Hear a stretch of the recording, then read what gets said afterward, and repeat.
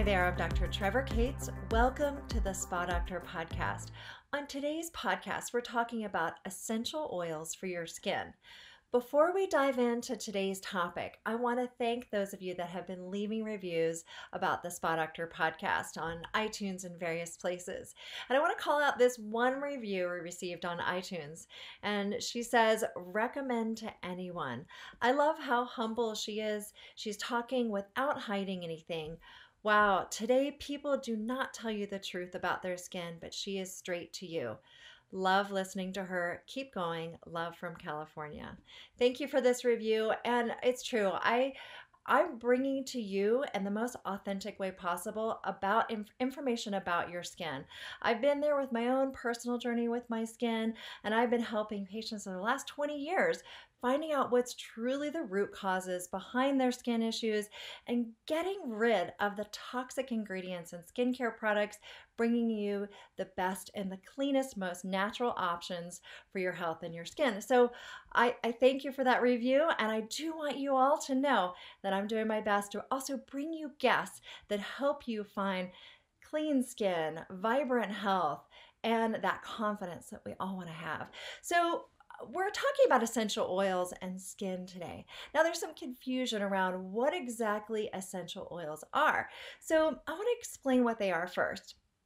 Essential oils are plant extracts made by steaming or pressing flowers, bark, leaves, or fruits of plants to capture the compounds that produce fragrance. They're typically very fragrant oils, and they're the, the essence of the real plant or herb, and it's a very concentrated form.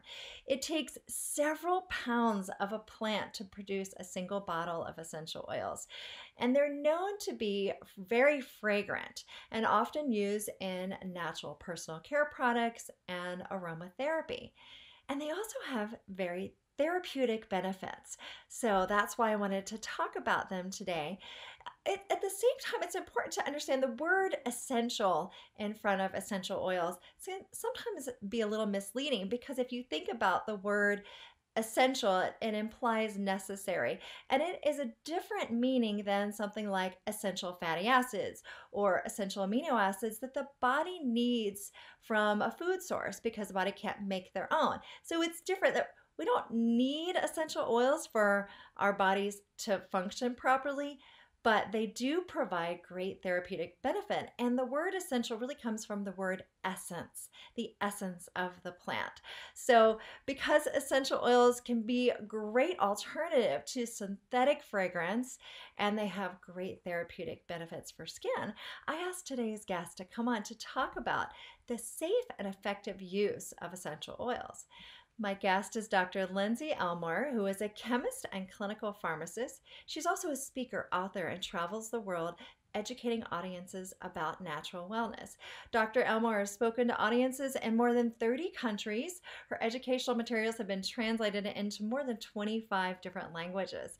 She's the author of Essentials 75 Answers to Common Questions about essential oils and supplements, and the Clean Slate Cleanse Cookbook and Workbook series. She's published in a wide variety of pharmacy and medical journals, has been quoted in numerous major media such as Bustle Bustle, Reader's Digest, Yahoo News, Woman's World, and has appeared on a lot of TV shows like ABC, NBC, Fox, and The Daily Buzz. Today, we talk about exactly how and when to use essential oils for various skin and beauty needs. She dispels myths around safety concerns and explains how to effectively and safely use essential oils. So, please enjoy this interview. Lindsey, welcome to the Spa Doctor podcast. It's great to have you. Thank you so much for having me. Yeah. So, we're talking about essential oils today, which I love because with the, all the concerns about synthetic fragrance in personal care products and the the concerns about the safety, the hormone disrupting chemicals that are in synthetic fragrance. And fragrance is in so many of the products we use, a lot of the personal care products we use, as well as cleaning products and a lot of things that we're come into contact with. So Absolutely. I always tell people about essential oils that they're a great alternative to those fragrances. And so looking for products with essential oils and starting to use essential oils yourself. So I'm so glad to have your expertise on today. Oh, thank you. And I completely agree with you. We are exposed to so many synthetic fragrances in everything, everything from candles to cleaning products to even things that even personal care products that we're placing on our skin. We have ways of heating up essential oils as well as synthetic fragrances, which arguably even makes them more toxic with the plug in devices. So I'm so glad to hear that you are steering your patients towards using essential oils, which is a natural option that gets around a lot of the problems with synthetic fragrances. Yeah, absolutely. And so we we love them in skincare products. Of course, I use them in the Spa Doctor skincare products. and some of our products, we have essential oils. And so, what are some of your favorites uh, essential oils to use in skincare products? Just just for the experience, like what do you find are the most popular ones? Well, I think it depends on what's going on with your skin. And so, if you are someone who maybe has teenage skin or who has oily skin, you may want to go for something like a tea tree essential oil. If you're someone who is concerned about aging gracefully and are maybe looking to reduce the appearance of fine lines and wrinkles, you may want to go for something that is more like a frankincense or a sandalwood. You have many different options. But when it comes to applying essential oils to the skin, the big thing is is that we want to use our gentle essential oils. There are some essential oils that are very assertive on the skin. And so you'd want to use some caution before you just start putting rosemary or oregano on your skin. But we do have throughout history so many examples of frankincense, sandalwood, myrrh, copaiba Iba, tons of different essential oils that are just beautiful to use on the skin on a daily basis. And really, I think the base, most basic of all of them is just the simple lavender. So, again, it depends on what's going on with your skin, which ones I like to use. If you're looking for something cooling, maybe in the summer, it's time to get out that peppermint oil. If you're looking for an essential oil that can help with recovery after exercise, or maybe you've been out walking around with your children too much, you may want to go for a wintergreen. All of them work for the skin, and they also have systemic effects when applied to the skin.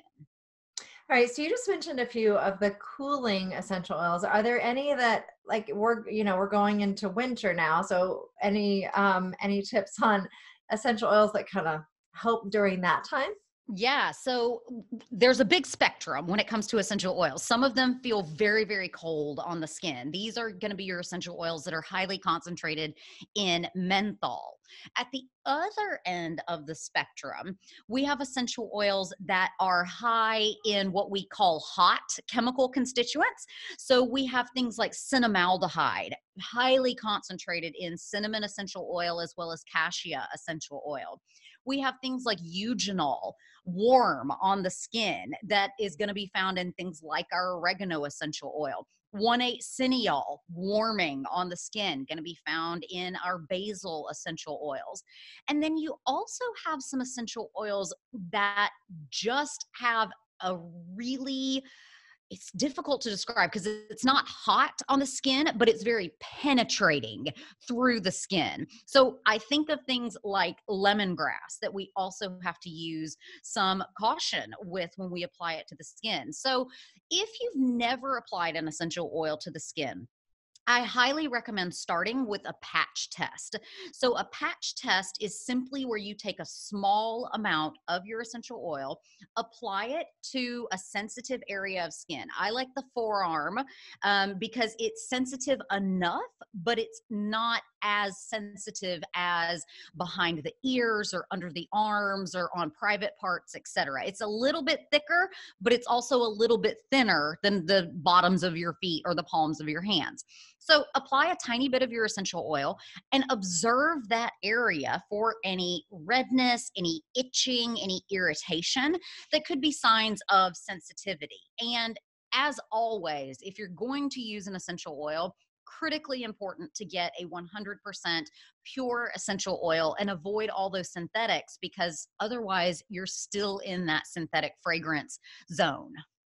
Yeah, absolutely. I'm, I'm so glad you're talking about the safety of it because some people do react to essential oils, even though they are natural.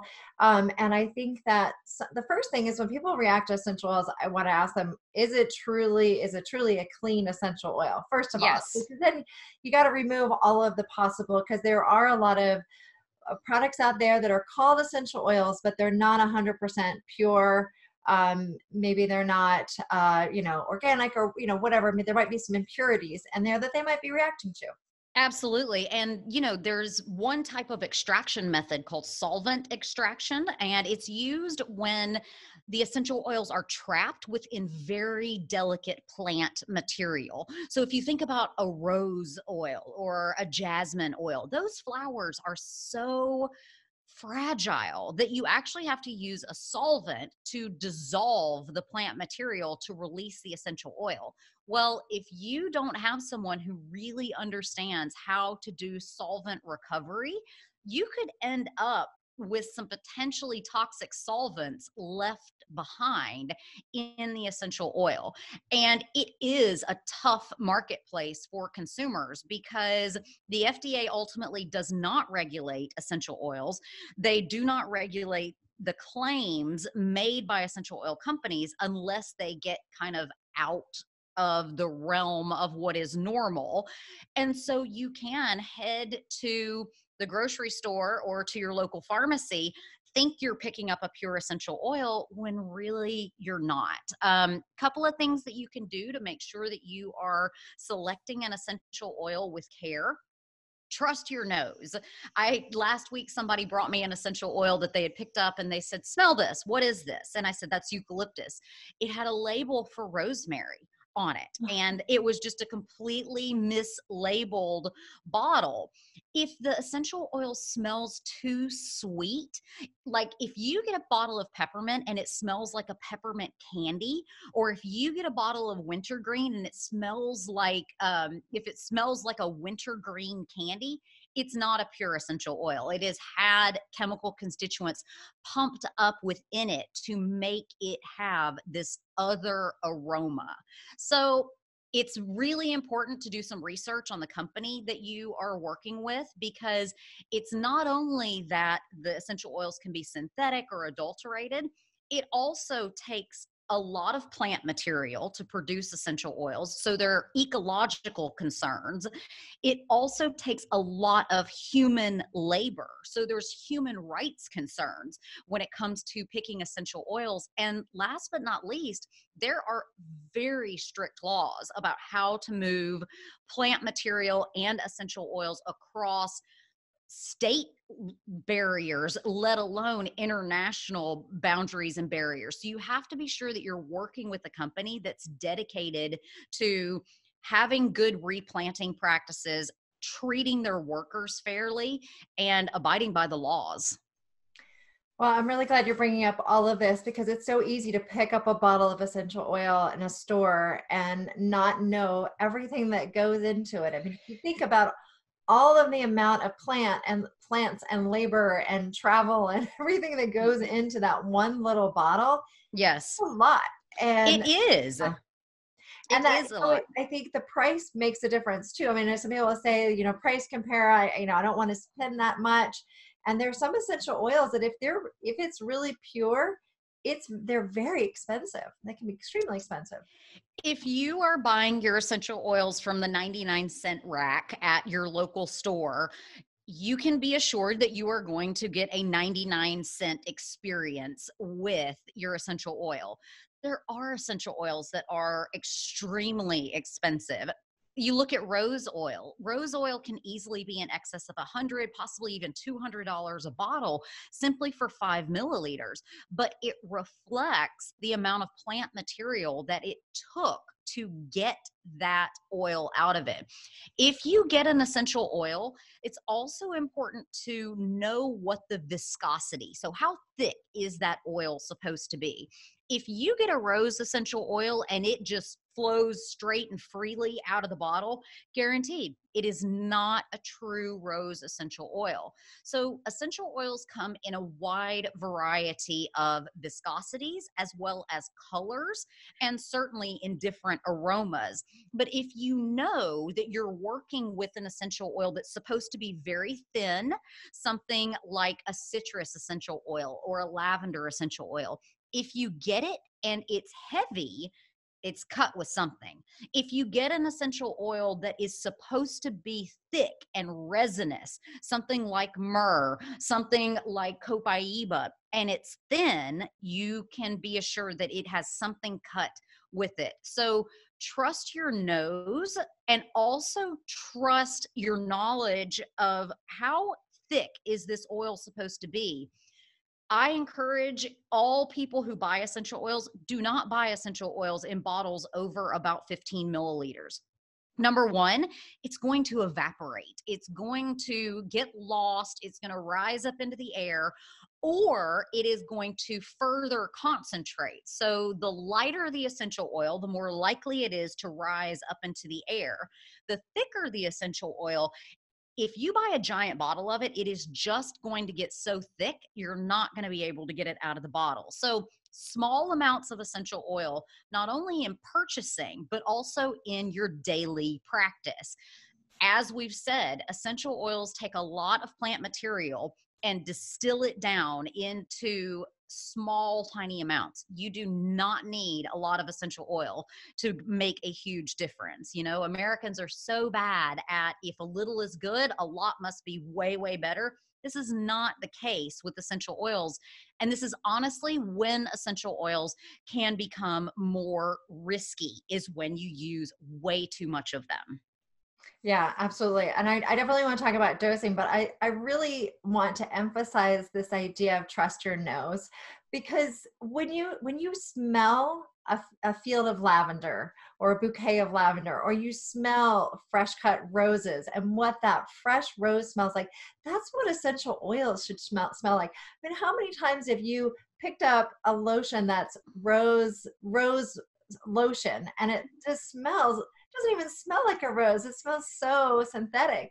And it's almost ruined people's love for using rose sometimes in products. Um, and same thing with lavender because it smells so fake. And yes, that can get you into some trouble. I mean, I know that we so we have a, a pearl and rose petal facial exfoliant and the smell it smells like fresh roses yes but a lot of people are hesitant i mean not a lot of people but some people are hesitant at first to try something rose because they they've been ruined by a lot of the products out there but when they actually try it oh my god who doesn't love the smell of roses, real roses. Absolutely. And I honestly think that the adulteration and the synthesis of essential oils may lead to some of the adverse reactions. If you have been out in the blogosphere in the past couple of years, you may have read that lavender essential oil can cause breast swelling in young boys, or lavender essential oil causes um, causes thelarche in young girls. And it's like,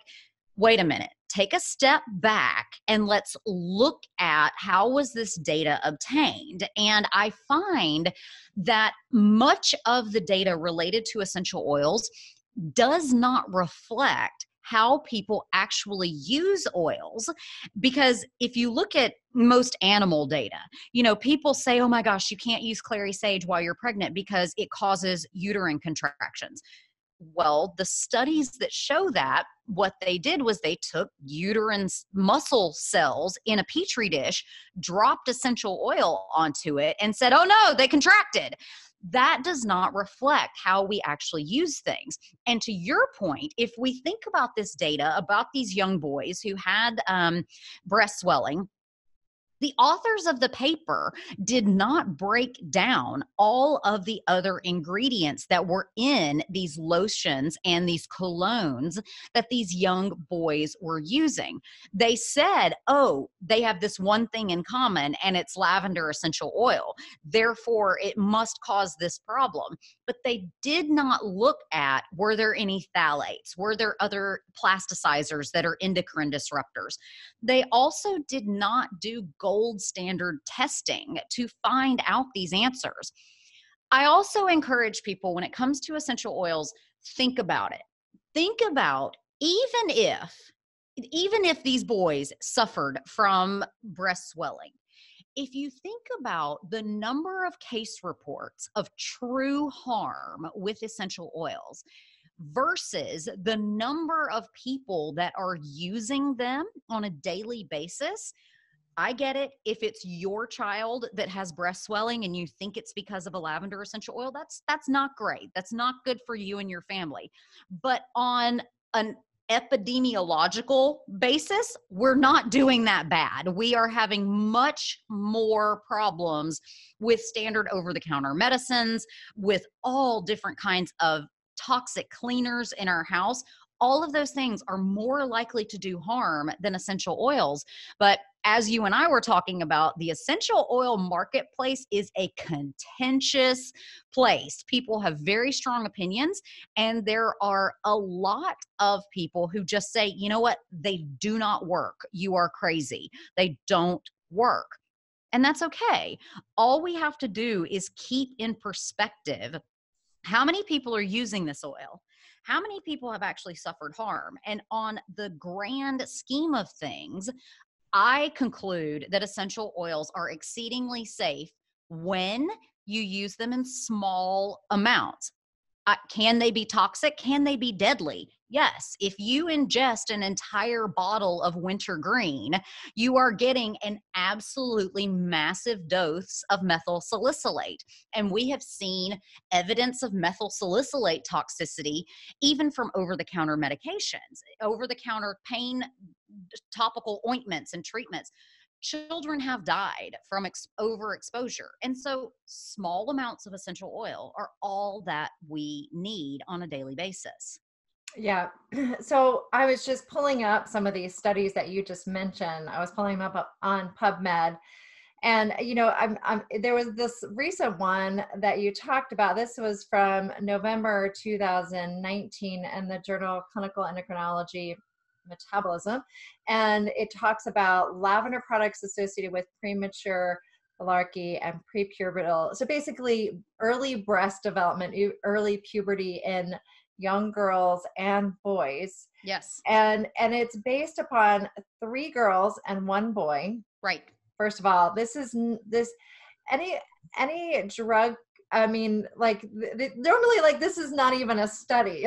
right. Nobody, if you said, hey, we've got this new statin drug and we've tested it on four people, you would be laughed off of the stage. Yeah. Nobody would pay any attention to that. Yes, the numbers are so small that, again, if it's your child, bless. I'm so sorry it happened to your child. But on the grand scheme of things, as you said, this would never even be considered valid data. Right. And then it's also exposure to lavender containing fragrances. So that's yes. it doesn't even say essential oils. And and so that most likely there are a lot of synthetic ingredients in that and, and we know that synthetic ingredient has hormone disrupting chemicals in it yes and we know that parabens and many of the a lot of the common ingredients like preservatives and things in skincare products also have hormone disrupting effects. So for anyone to pinpoint this on lavender essential oils is I mean and and hey, you know what? If they want to do a larger study and focus it just on lavender essential oil and that, you know, that I'm good with that, but we can't make any conclusion uh, based upon this entirely. And if you look at the history of lavender essential oils and how they've been used throughout time, and and for a number of health issues um, and you know relaxation and all kinds of things the there's so many benefits that I just I'm, I'm afraid to tell people don't use it, um, avoid it. But but we always want to be careful and cautious with essential oils. So like you talked Absolutely. about the things we want to be careful with. So let's talk about dose and how much to actually use that that is safe. So let's talk about how to safely use them. Okay, so the first thing about safely using essential oils is to understand that every person is different. If you come to me and you say, you know, hey, Linz, I have terrible atopic dermatitis. I am allergic to everything, have been since I was a child. I am going to give you a very different set of safety precautions versus if you say, I have the toughest skin around. I, not even poison ivy bothers me. You know, that's going to be a very different set of things. The other thing is to know on the spectrum of completely mild and gentle, I would have confidence to even put it on a little kid, all the way to wow, I'm really experienced with essential oils and this still is hot on my skin. We have to divide where we are. So, here are some key safety points for anyone who is brand new to using essential oils. We've already covered one, which is a patch test. Place it on your arm, observe the area. If you have any redness, irritation, or itching, that's okay because now we get to our safety point number two, which is always leverage and use your carrier oils. So, carrier oils are any kind of fatty oil that you have. So while essential oils are oils, they are distinctly different from our cooking oils or our coconut oils or almond oils because they're not fatty. This is actually another way that you can check for the authenticity of your oils. Take a white sheet of paper, if you drop a drop of lavender and it says it's 100% pure lavender, but it leaves an oily spot on your sheet of paper, it is not a pure lavender. If you place an essential oil on your skin and it is slick on the skin, it's not. It's got a carrier oil in it. That doesn't make it bad. It just means that that carrier oil needs to be on the label. If you ever have an essential oil that is irritating on the skin if you ever have any redness any itching any any irritation at all simply add carrier oil. You can use any carrier oil that you want anything from an olive oil jojoba oil rosehip oil.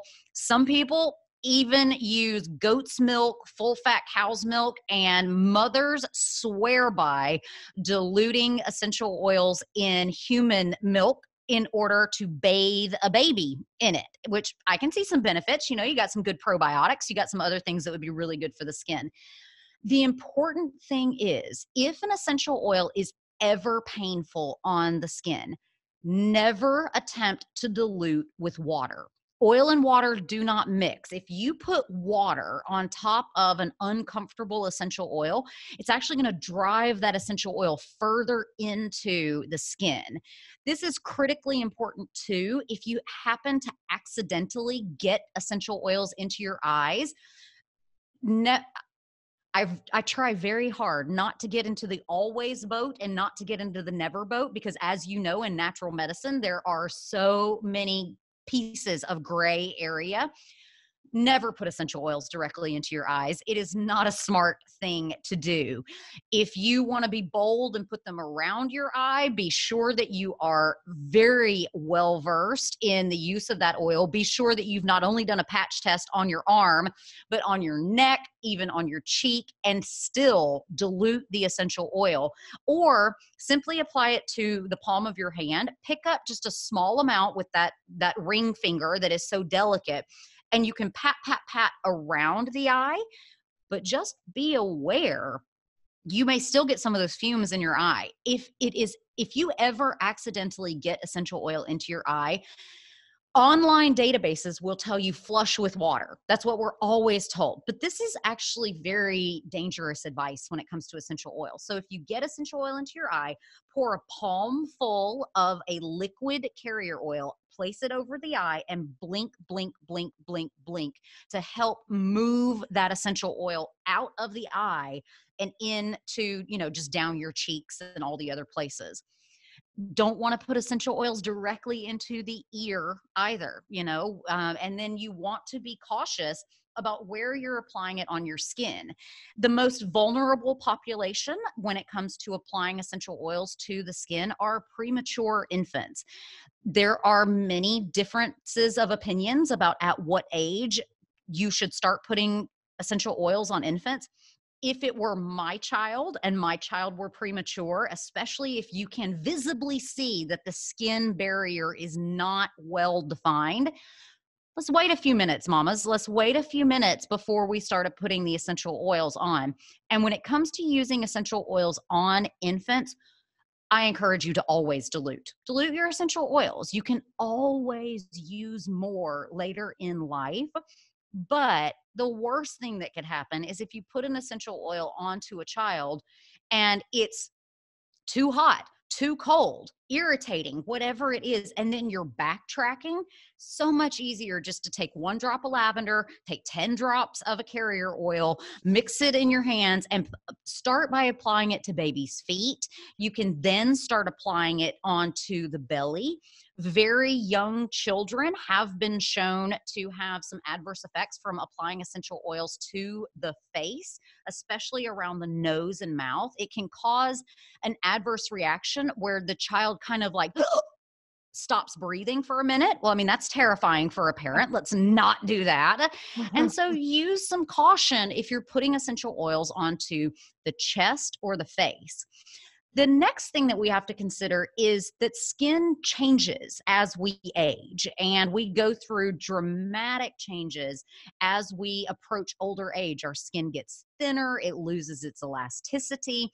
And I have had so many people reach out to me and say, Lindsey, I have been using lavender essential oil for 15 years, and now all of a sudden I break out in a rash. That is a completely normal thing to happen over time. It's not that the essential oil has changed, it's that our body chemistry changes as we get older. So use some caution as skin ages. And I feel like so many people want to, when you're in the essential oil realm, so many people want to apologize and say, you know, oh, I, I had this adverse reaction. Guys, it is not a personal failure on your part if you use a product and you decide that you don't like it just honor the fact that your body is communicating to you. Your body does not lie about what it needs and what it wants um, to stay well. So, the third group that I would also exercise additional caution with is people who have any type of broken skin or wounds. We do have some good evidence that essential oils can help in wound healing. However, you're not going to be dropping a nutmeg essential oil or an oregano essential oil onto an open wound. Go with your more gentle essential oils applied around the wounds. So things like our lavender, our copaiba, our frankincense, versus the more assertive essential oils, which can just be downright painful for sure. And then last but not least, while we do have some good evidence that essential oils can help when applied topically to private areas. So, like if you have someone who has a urinary tract infection, they may put essential oils directly downstairs. But we have to be cautious because the skin is so much thinner and the skin is more vulnerable in private parts, inside the mouth, under the arms, behind the ears, etc. Okay, great. Fantastic. All great safety tips. Um, at the same time, there are great ways to use essential oils that are safe. It just it's good for us to talk about all of those, you know, conditions, yeah. but but as long as we're using them safely, they can be a powerful tool. So 100%. Carrier oils. What are your favorite carrier oils? So when I choose a what you mean by that too. Okay, so carrier oils are your fatty oils. They are any kind of fatty oil that you have around your home. It could be olive oil, coconut oil, jojoba oil. I really like grapeseed oil because it's so neutral. A carrier oil is anything that we would cook with or that we would moisturize the skin with. You have two different options People also use full fat milks as carrier oils because they have a bunch of fat in them and they help to disperse the essential oil.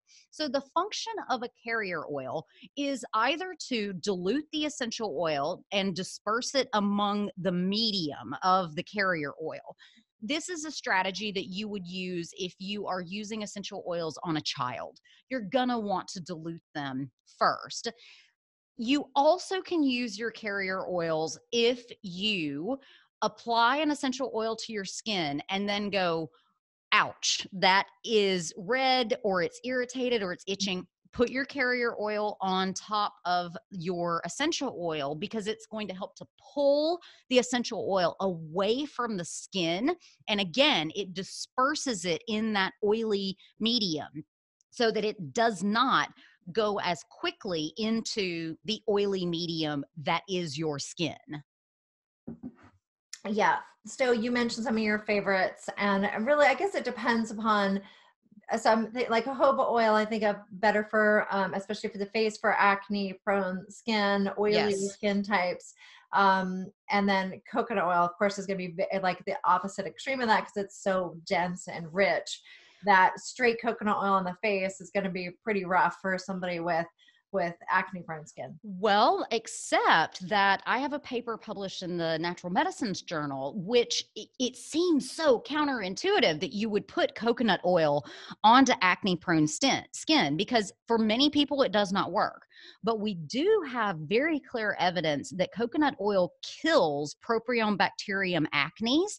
So it might be one of those things that you test it out. The the thing that I think is both beautiful as well as frustrating about essential oils is that every single person reacts differently to them. And the same thing I think happens with carrier oils. And so we have on that spectrum, yes, jojoba oil, great for acne prone skin. You may find that the coconut oil might work for you too, but you also might have your experience, which is, oh no, that might break me out. You also can consider carrier oils that are traditionally used in the hair. Things like argan oil is having a serious moment right now. And so, if you wanted essential oils that are lighter for moisturizing the hair, that could be another option as well.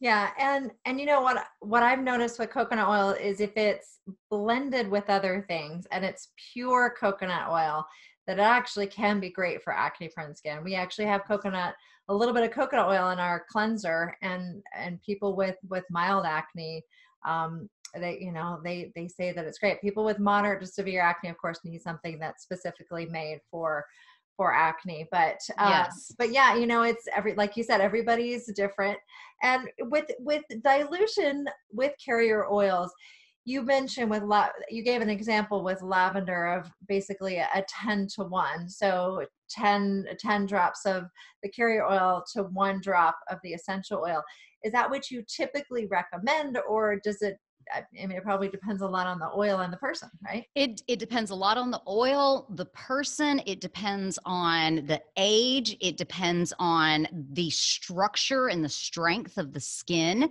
and I also think it just depends on their history of how long have you used essential oils. Like, I know my tolerance level to putting cinnamon oil on my skin.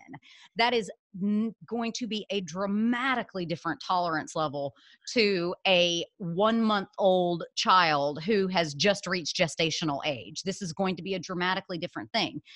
The great news is we have the opportunity to just dilute our essential oils as much as we think we need to here's my advice to moms who might be worried or also caregivers who might be taking care of older people who may have skin wounds or skin infections test the product on yourself first. And you may start out simply by wearing an essential oil on your own skin, wearing an essential oil on your clothing. turn on a diffuser to get your essential oil going before you necessarily apply it to the skin. The good thing is, if you undershoot and you say, you know what, I've been using that diluted lavender for three weeks now, I'm ready to put that lavender essential oil directly onto my skin because you can apply essential oils without any carrier oil. I do it every single day. If that happens, and you see any redness, you see any irritation, you see any kind of itching, whatever, put more carrier oil on it. You you can never go wrong by adding carrier oil when it when you have any type of irritation on the skin. So there's no true dilution ratio that is 100% universal because you get an oil like Copaiba, you could probably put 10 milliliters of Copaiba all over my body and I would never even feel it. Versus if you tried to do that with a clove essential oil, I'm gonna be feeling the heat. So it it really depends. It really does. Yeah. Okay. I'm like, I know that's a question I get often. So I, and I, I figured you have that response, but I just wanted to make sure. Uh, otherwise we'll get it in the comment section. right. Yes. It, so, I mean, I cover it in my book. If, if yeah. you're interested in reading more about dilution ratios and essential oils in general, I have a book, 75 answers to common questions. And my theory about essential oils is there's so much fear mongering on the internet telling people how dangerous they are. But when you really get into the data, they are not dangerous unless you consume them in milliliters upon milliliters quantity. Don't do that. Friends do not let friends drink an entire bottle of essential oil. It is not a thing. Um, can I tell you one other thing that I think is very important to people when they're using essential oils on their skin? We've talked a lot about redness and irritation and itching. That's a type 1 allergic reaction. It's it's a sensitivity to the essential oil. We also can have what are called type 4 allergic reactions and these are very very common and can be very severe. So use some caution if you are applying any kind of citrus essential oils to your skin before you go out into the sun. So, citrus essential oils, especially bergamot, um, lemon and lime and orange and grapefruit are kind of in the middle. And then we also have another class of plants called our Rutaceae plants. So these are essential oils like rue and angelica and cumin. All of these, our citrus oils as well as our rue, angelica, and cumin, increase the risk of photosensitivity. And they do it because they have a chemical constituent in there called um, FCs or furanocoumarins. Furanocoumarins you find in lots of different personal care products, and you also find them within essential oils. And so, what happens is these furanocoumarins, if you think about your DNA like a ladder that's now twisted on itself, and so you've got this helix in between that ladder, you have rungs, and the rungs of the ladder are built with two different pieces. The furanocoumarins squeeze in between those two base pairs, those two pieces that are bringing that rung of the ladder. What then happens is that causes a strand break, and the DNA can then shift or just reconnect in the wrong spot, get twisted the wrong way. This our body perceives as a foreign invader and it mounts an allergic reaction to our own DNA that has been intercalated. That is where those furanocoumarins squeeze in between those ladder rungs known as base pairs. So, what we then perceive is why is my skin so red? Why am I so sunburned? The crazy thing about this reaction is that it can actually take up to 72 hours to manifest. So, if you spend a full day out in the sun with lemon essential oil on your chest, and then all of a sudden, three days later, you have a sunburn, it may make no sense, but it actually is exactly what the science tells us may happen. So you have two different options to protect yourself and make sure that you are not having any type of adverse reactions. Number one, if you're going to use your citrus oils, use them under your clothing or use them on, but not at times when you plan to go out into the sun. you can look for products, personal care products. Many of them have furanocoumarin free additions like you know your orange and your grapefruit and so you can avoid those furano furanocoumarins in that way.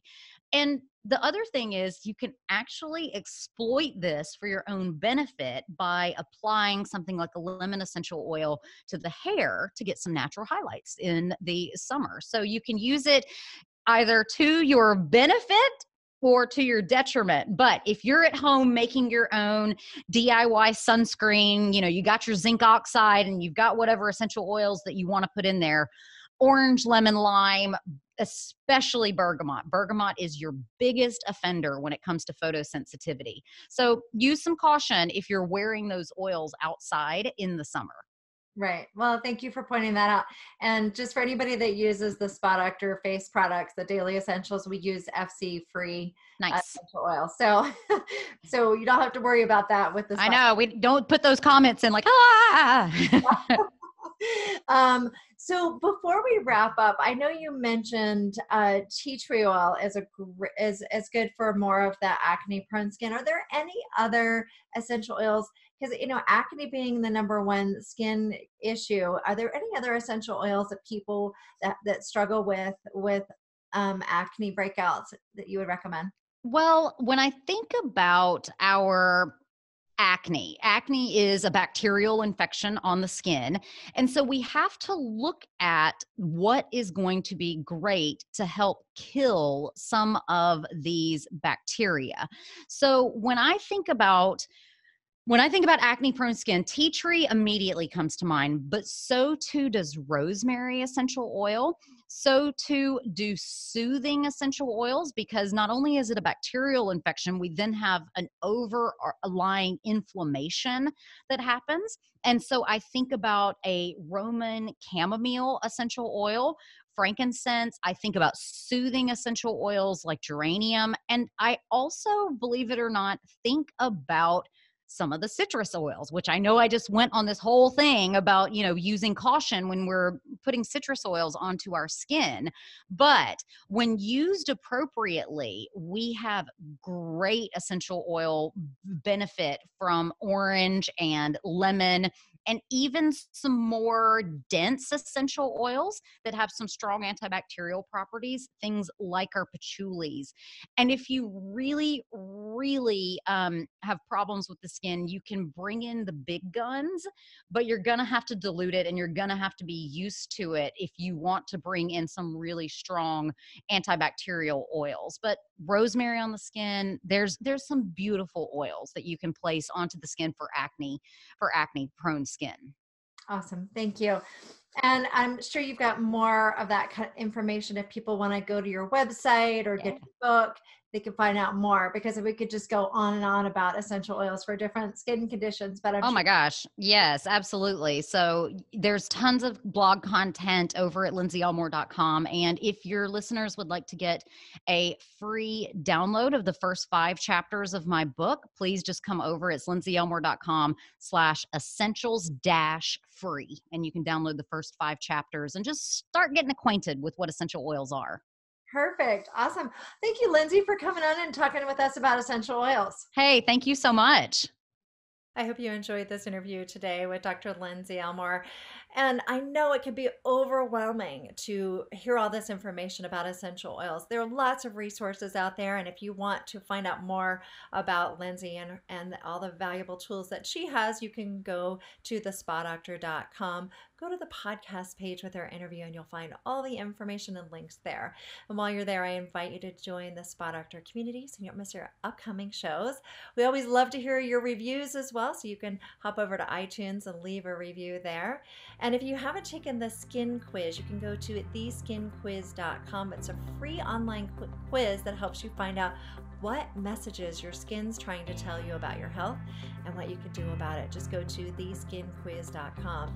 And I invite you to also join me on social media at The Spa Doctor on Instagram, Facebook, Twitter, Pinterest, and YouTube.